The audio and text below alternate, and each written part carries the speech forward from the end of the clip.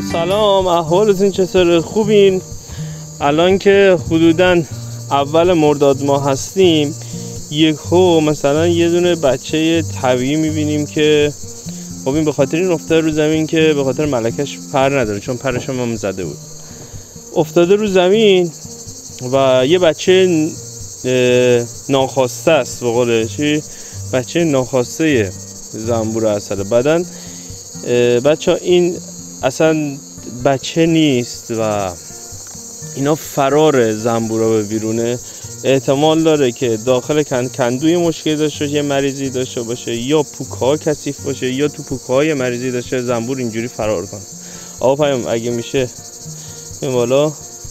خیلی مخلصیم. حالتون چطوره؟ آره این دلیلش اینه که این کندو سقابی به این بچه کوچیک گرفته این یه ایرادی توی قاباشه تو قاباشه یا قاباش کثیفن یا یه ایرادی توی کنه شاید داشته باشه زیاد است ولی من چون براش اسید فرمی گذاشته بودم نگاه کنیم. یا غذا نداره. احتمال داره که غذا نداشته باشه. غذا داره. این به خاطر احتمال داره به خاطر قاباس اینجوری فرار می‌کنن زنبورا یا یا کنین یا یه عالم بچه زنبور هم متولد شده حتی. نمی‌دونم چرا این حرکت انجام میده. احتمال داره که کنه داشته باشه و کنه باز بشه که بچه بخواد بده من میام. یه همین قابه که روش لاربر رو داخل کندو نگر میدارم. میام جاش عوض می‌کنم اول. جای کندو رو عوض می‌کنم. جای قابا رو. این هم اصل داره. یعنی همه جوره زنبور زنبور خوبیه ولی همچین چیزی براش پیش میاد. براش پیش میاد. باید بگیریم این قاباش عوض کنیم. تنها راشه هیچ راه دیگه ای نداره. میریم یه سری قابای تازه بگیریم. بذاریم جای این. شروع کنه به تخم ریزی تا حالش بهتر باشه. امکان داره این لاروا مشکی باشن و خراب باشن. برای همین این لارواشو عوض می‌کنیم. یعنی قابا پوکهاشو عوض می‌کنیم. نگاه می‌کنیم. هیچ ایرادی هم نیست. بعضی موقع همچین چموش بازی زنبورا در میارن. همچین چموش بازی در میارن. ما میگیریمشون. عوض می‌کنیم قابا رو. تا شاید بهتر بشه. خب این یه دونه که لارو داره روش تخم روزم داره نگر میدارم. یه دونه میرم یه دونه قاب. پوکه خوب برمیدارم میارم بچه چند تا قاب سفید تمیز برداشتم براش آوردم. بذارم شاید این قابا بهتر عملکرد داشته باشه. شاید. دقیق نمی‌دونم. تازه کندو کف بازم هستش. شما حتما ویدیو این بچه گرفتن رو دیدیم می‌ذاریم ببینیم چی میشه. شکرم بهش میدیم. انشالله که درست بشه.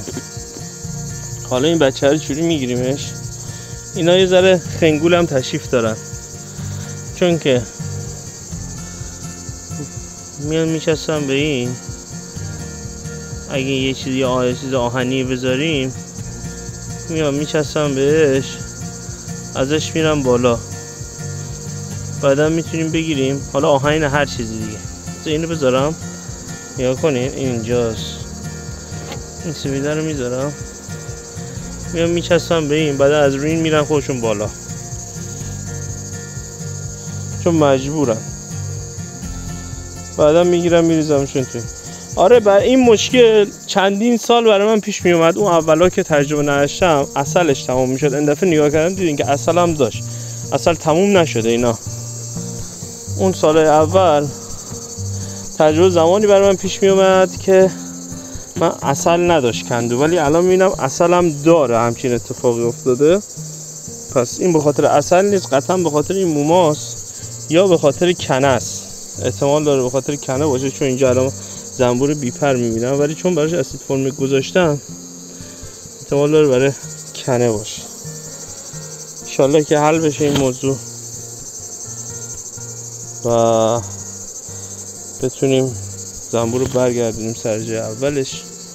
خدا بزرگه. خیلی مخلصیم. حتما همچین صحنه دیدین یا کمبود غذاست یا آلودگی یا بیماریه که ملکه با زنبوراش فرار می‌کنه. من خدا رو شکر. بالا ملکه رو بریده بودم نمی‌تونه فرار کنه و افتاده اون پایین. برای همین مونده. وگرنه جرأت فرار کردن نداشت. خیلی مخلصیم. تو این فصل برای همین من همش میگم که شکر بدین چک کنین زنبوراتونو. خیلی مخلصیم. انشالله که استفاده کنین. اینم ناخواسته بوده. این ویدیو.